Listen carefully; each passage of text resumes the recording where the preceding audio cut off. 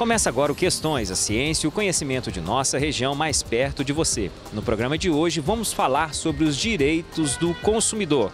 Quer saber mais sobre esse importante assunto? Acompanhe agora o programa Questões.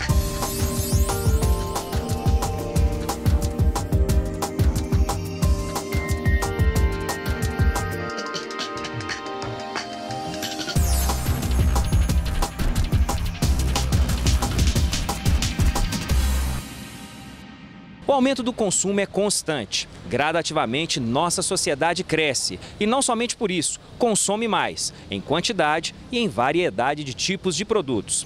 Isso evidencia a necessidade de se harmonizar os possíveis conflitos que possam existir na relação entre produção e consumo. A gente percebe que essa capacidade de consumo, ela veio se ampliando para as diversas camadas da sociedade. Hoje as pessoas têm condição de ter mais acesso à moradia, ao automóvel, é, ao lazer. Né? Então, isso vem, vem se ampliando, mas ainda assim a gente percebe que há diferenças nessas possibilidades de consumo, ainda que, que a gente viva nessa sociedade de consumo, há essas diferenças e essas desigualdades e que as pessoas são o tempo todo estimuladas a consumir. Nós temos uma, uma sociedade de consumo ainda em desenvolvimento. Né? A conscientização dos direitos do consumidor não é plena nem por parte dos fornecedores e nem por parte dos consumidores.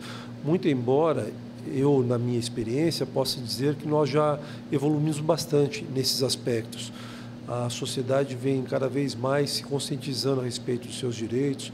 As próprias empresas procuram é, melhorar o atendimento em relação aos seus consumidores, mas ainda há muito espaço para evolução. Após a Segunda Guerra Mundial, aumenta a necessidade dos direitos do consumidor para se organizar e estabelecer a harmonia nas relações de consumo. No entanto, muitas vezes o consumidor chega a ser vítima de abusos, tanto do fornecedor de produtos quanto do prestador de serviços, desconhecendo o alcance da proteção de seus direitos garantidos pelo Código de Defesa do Consumidor. É, o consumo cresce a cada dia mais no Brasil e em todo o mundo. Né? Numa sociedade capitalista como a nossa, o consumo é de grande destaque, visto que basicamente 24 horas do dia consumimos, né? Ao acender uma luz, ao adquirir um alimento, ao fazer compras mais complexas, enfim, desde o nascimento até a nossa morte estamos consumindo, né? Então, a, o papel do Estado é de suma importância, né, na proteção e defesa do consumidor. Partir é, do momento que o Estado decidiu tutelar, isso já faz 23 anos, não é? tutelar o direito do consumidor, para realmente proteger o cidadão consumidor, proteger a saúde, a dignidade, a segurança e implementar regras que visam melhorar as relações de consumo como um todo. E melhorando as relações de consumo, melhora também o mercado de trabalho, melhora a nossa sociedade como um todo. Aqui na empresa é, são realizadas rotinas diárias, fiscalizações internas mesmo dos nossos setores. Nós temos uma equipe que diariamente trabalha na verificação da qualidade dos produtos que são fornecidos aos consumidores. Nós temos desde nutricionistas, médico veterinário que trabalham com o objetivo de levar para a mesa do consumidor, levar para a casa do consumidor produtos e alimentos de extrema qualidade. Segundo uma pesquisa realizada pela FUNED em 2012, 78% da população de Divinópolis tem conhecimento do Código de Defesa do Consumidor. No entanto, é necessário que toda a população tenha mais conhecimento dos seus direitos e deveres como consumidor. Inclusive, o direito de informação é um direito básico dos consumidores. Está previsto lá no artigo 6 do nosso Código de Defesa do Consumidor, que é a Lei 8078 de 90 certo? E eu costumo dizer também que essa informação ela protege muito mais às vezes o próprio fornecedor, porque se ele esclarece de forma clara a proposta, não é? é se der algum problema, ele tem como se prevenir, certo? De eventual indenização, de eventual reparação. Por quê? Se as regras estão claras, fica muito mais fácil para ambas as partes. A lei ela é bastante pontual, bastante moderna, inclusive ela é admirada né, na comunidade jurídica internacional. O Código de Defesa do Consumidor, de fato, é muito moderno e avançado. Eu diria que os avanços é, seriam necessários, de fato, na educação do consumo. Então, acho que precisava popularizar mais essa nossa lei, porque ela é muito popular. Né? Ela visa resguardar uma relação popular, que é a relação comercial, não é? Então acho que isso aí seria uma, uma boa estratégia não é, dos legisladores para que a lei fosse mais bem compreendida, utilizada e realmente observada de forma a vir a melhorar mais ainda o equilíbrio nas relações de consumo.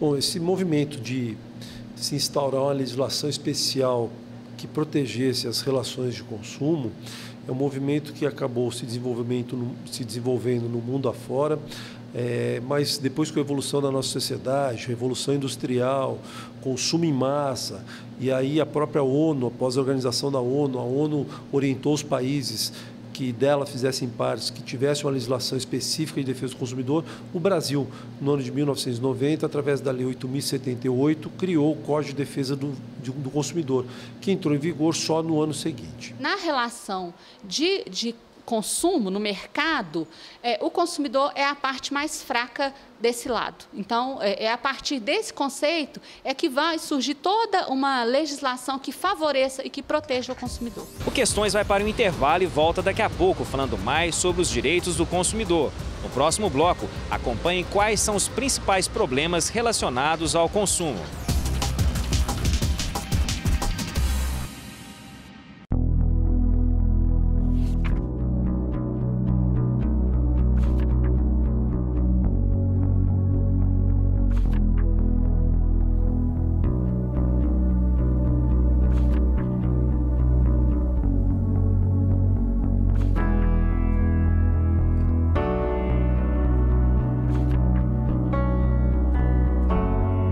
FUNED 50 anos de uma história para sempre.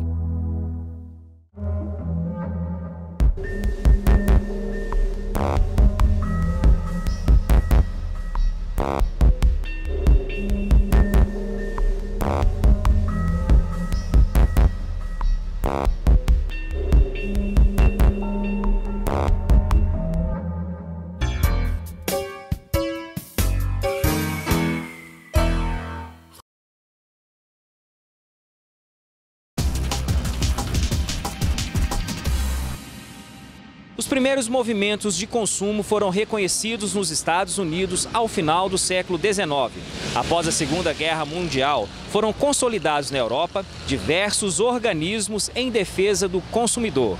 Há algum tempo se busca equacionar os problemas relacionados aos direitos do consumo. Existe um sistema nacional de defesa do consumidor previsto no Código de Defesa do Consumidor, que começa lá no Ministério da Justiça e vai se desdobrando tanto na União quanto nos estados e nos municípios.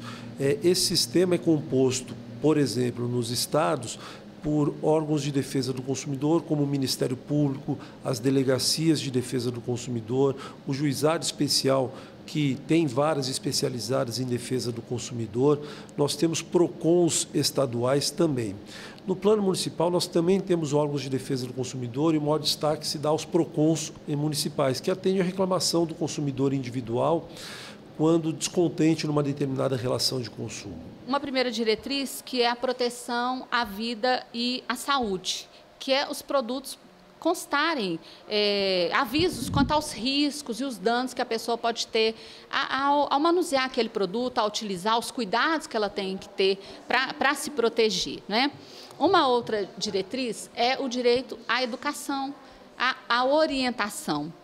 É, outra diretriz, a gente tem a liberdade. O consumidor ele pode escolher livremente se ele quer comprar ou não um produto. A lei procura facilitar a defesa do consumidor em juízo e cria mecanismos para isso. A lei prevê também que todos os contratos devem se basear pela boa-fé. A lei prevê que os contratos devem ser interpretados em favor do consumidor.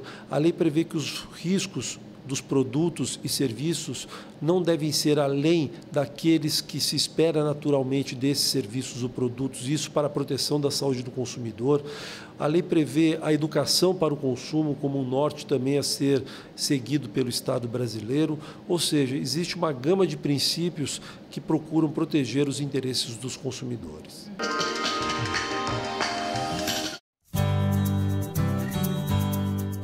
Produção de alimentos orgânicos cresceu mais de 300% no país, somente na última década. E a quantidade de agricultores orgânicos no mundo chega a quase 2 milhões. Isso é consequência do atual cenário econômico brasileiro, seguindo a tendência dos consumidores em busca de produtos seguros e saudáveis. E dentro desse processo de fabricação, o Serviço de Inspeção foi criado em 2009 e hoje ele é uma referência no Brasil porque a gente saiu na frente, temos vários, um quadro de funcionários, de veterinários, de fiscais que acompanham esses estabelecimentos, dando primeiramente um papel orientativo, como produzir, como fabricar direito esses produtos, dentro das normas da, da legislação federal. E após esse processo orientativo de, de, de, de fabricação, a condução desses trabalhos com fiscalizações mensais, vendo se está realmente sendo tudo produzido corretamente, inclusive com análises microbiológicas desses produtos. O meu produto ele tem a diferença que ele é 100% natural, ele não tem conservante e o rendimento dele é bom e traz muitos benefícios pela, para a saúde porque não tem nenhum conservante, 100% natural, 100% orgânico, as frutas que a gente produz a polpa. Com relação aos produtos da agricultura familiar, hortifruti, a gente tem aqui um convênio com a Emater, onde o técnico acompanha todos os produtores é, para orientação de como melhor produzir, né, para que ele ganhe dinheiro, logicamente, dentro do espaço físico que ele tem, é quanto mais produzir, mais dinheiro ele vai ganhar, dentro das normas técnicas de produção com agrotóxico, com sem agrotóxico, usando os níveis ideais. a importância do selo de certificação é que a gente vai oferecer para o cliente um, um produto inspecionado pela vigilância sanitária e que é, a gente tem o rótulo, tudo certinho, tem o nome, a marca. Enquanto você chega com um produto inspecionado, ele já mais confia mais, é mais mais aceito no mercado. Tem que ter um papel do Estado mais forte nisso com relação à parte técnica, para que oriente os produtores, para que eles possam conseguir certificação para esse tipo de produção orgânica. Entre as maiores reclamações nos supermercados estão as datas de validades vencidas e os produtos sem preços, ou com diferenças entre o mostruário e o que é cobrado no caixa. Por isso, o consumidor precisa estar atento ao que está sendo consumido. Existem reclamações sim, e no propósito de evitar esses problemas, o ABC faz parte de um programa que foi uma parceria do Ministério Público do Estado de Minas Gerais, o Movimento das Donas de Casa e a AMES, Associação Mineira de Supermercados. Esse programa é denominado De Olho na Validade. É um programa de âmbito estadual, né, no estado de Minas Gerais, onde o objetivo desses parceiros todos desse programa foi fazer com que o próprio consumidor trabalhasse junto com a empresa, o fornecedor, na fiscalização desses produtos com a validade vencida. O consumidor ler antes, inclusive guardar por exemplo, guarde é, o panfleto de publicidade daquela oferta. Por quê? Porque é, é uma dica importante do Procon de Vinópolis. Nem sempre a publicidade, tudo aquilo que está ofertado, vai fazer parte integrante do contrato. Então, tem que prestar muita atenção, certo? Mas o que, que o nosso código determina? Tudo aquilo que é ofertado de maneira pública, não é no caso, para os consumidores, se torna obrigatório o cumprimento. E não adianta depois falar, não, mas no contrato não está escrito. Se tiver como provar que a oferta foi uma, o contrato foi outro, o que, que vai prevalecer? A oferta.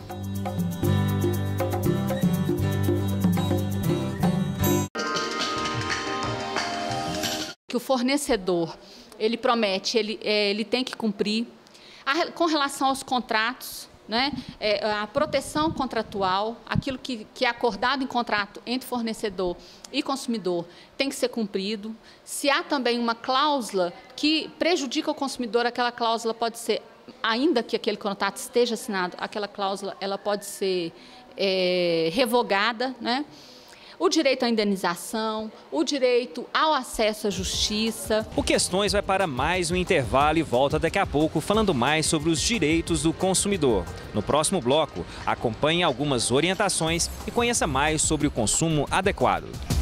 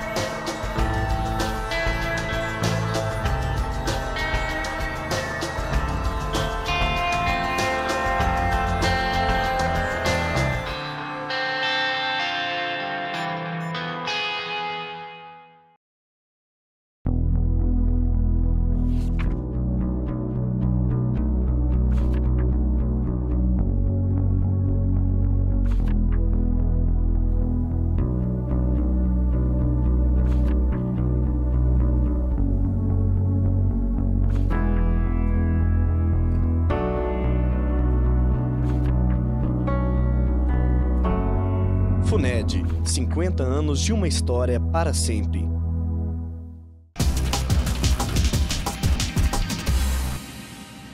O próprio consumidor pode identificar em estabelecimentos ou situações de consumo se existem as condições mínimas para compra, higiene ou manipulação, principalmente ao se pensar em alimentos, roupas e vários outros tipos de produto.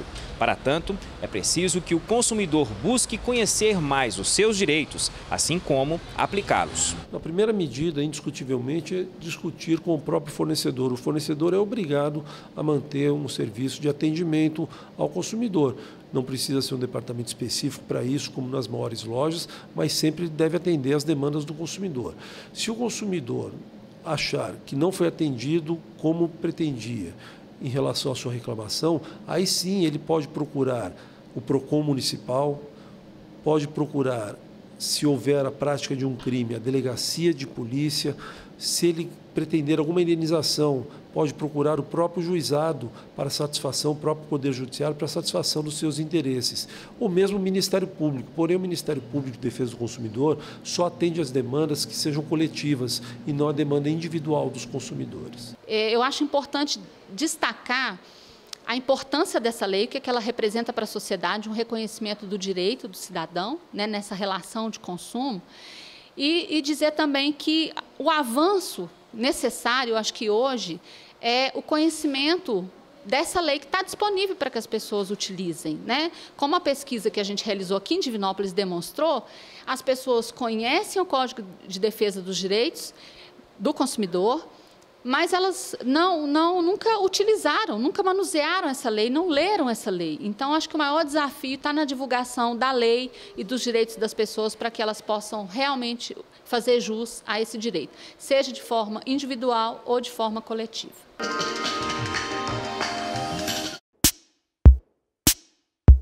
O final de ano se aproxima. A época muitas vezes é sinônimo de compras. A correria do dia a dia pode fazer com que o consumidor não se atente ao produto consumido ou realize suas compras na internet. Depois surgem os problemas, como por exemplo a troca de um produto. É preciso que os consumidores tenham mais atenção ao adquirir um produto, seja comprando pela internet ou não.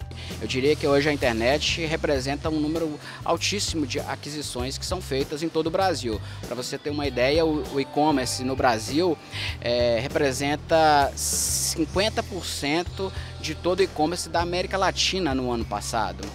São mais de 20 bilhões de reais feitos em vendas e-commerce no Brasil no ano passado. Para vocês terem uma ideia, a cidade de São Paulo, que é a maior cidade do Brasil, no ano passado o e-commerce, né, o comércio eletrônico, representou um número mais alto do que as vendas nos próprios shoppings. Tem 10 anos que eu compro pela internet, eu nunca tive problemas. Para isso, eu observo a reputação do site, eu faço consultas com conhecidos que já compraram algum produto nesse site. Além disso, eu procuro em alguns é, endereços a, a avaliação que as pessoas internautas fazem desse site. Isso ajuda a dar segurança a você fazer sua compra sem problemas. Se for via internet, tome muito cuidado também em relação a sites falsos, porque infelizmente existe ainda muita gente caindo nesse tipo de golpe. São sites que eles ficam no ar por um curto período de tempo e eles existem simplesmente para poder fazer é, com que os consumidores comprem e não e eles não entregam a mercadoria. E muitos consumidores têm até vergonha de levar o processo administrativo para frente, porque eles se sentem envergonhados assim, ai, como que eu fui cair nesse golpe, sabe? Mas isso é comum. Além disso, educar os jovens para um consumo consciente é uma boa alternativa para se evitar problemas futuros. O conhecimento é a alma do negócio. Se você conhece seus direitos e seus deveres, você sabe é, você vai saber se prevenir em relação a eventuais problemas, não é? E vai é, criar uma sociedade mais equilibrada, não só nas relações de consumo, mas em todos os aspectos aspectos da nossa vida. É importante aí toda a cadeia de fornecedores, consumidores, é, que avancem culturalmente, né, na questão né, de conhecimento dos seus direitos e também dos seus deveres, porque são recíprocos, são direitos e deveres que são recíprocos, tanto por parte do consumidor como por parte do fornecedor. Então, na minha opinião, o avanço que se precisa aí é um avanço muito mais cultural e na educação da relação de consumo do que na própria lei, que de fato já é uma lei bastante atualizada e moderna. Você precisa de uma ação conjunta com a família, com as mídias, né? Porque as pessoas, se elas forem expostas à publicidade, elas vão consumir o tempo todo. Então é preciso delas terem consciência e comprar, adquirir somente aquilo que for necessário para a sua vida. E o que devemos fazer quando nos sentimos prejudicados na compra de algum produto? Existem vários órgãos e instituições que auxiliam o consumidor a resolver esse tipo de situação. No entanto, a mais conhecida e a mais procurada ainda é o Procon. Os consumidores, eles não têm só direitos, mas têm deveres também. E um dos deveres dos consumidores, aliás, alguns dos deveres, sempre pedir documento que comprove a compra, nota fiscal, recibo, se documente a sua via do contrato. É muito importante que você se lembre de pedir e levar para casa, ler antes de assinar se não entender antes de assinar, traga para o PROCON para poder ser orientado se realmente existe alguma cláusula abusiva ali ou não, alguma cláusula nula. Verificar a validade, verificar aspecto né, de qualidade do produto, tanto nas compras em loco como nas compras pela internet.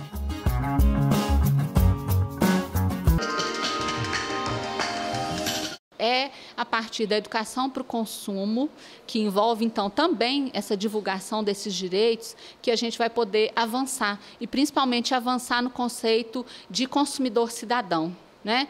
Que é que seria esse consumidor que ele, ele age de forma consciente na sua relação individual, no seu poder de escolha individual, mas que ele está conectado com as questões mais coletivas e as questões sociais e que ele não pensa só nele, naquele ato de consumir. A gente tem que pensar que isso é, também está imbricado por relações sociais, por problemas ambientais em que as pessoas têm que pensar quando realizam ou adquirem um produto ou um serviço. O Questões termina aqui. Agradecemos a sua participação nesse programa em que conhecemos mais sobre os direitos do consumidor. Se você quer saber mais informações sobre esse tema ou sobre qualquer outro tema, entre em contato conosco. O e-mail do programa é questões@funed.edu.br. Entre em contato também pelas redes sociais, pelo Twitter e pelo Facebook. Programa Questões vai ao ar todas as terças-feiras, sempre aqui, na TV Alterosa.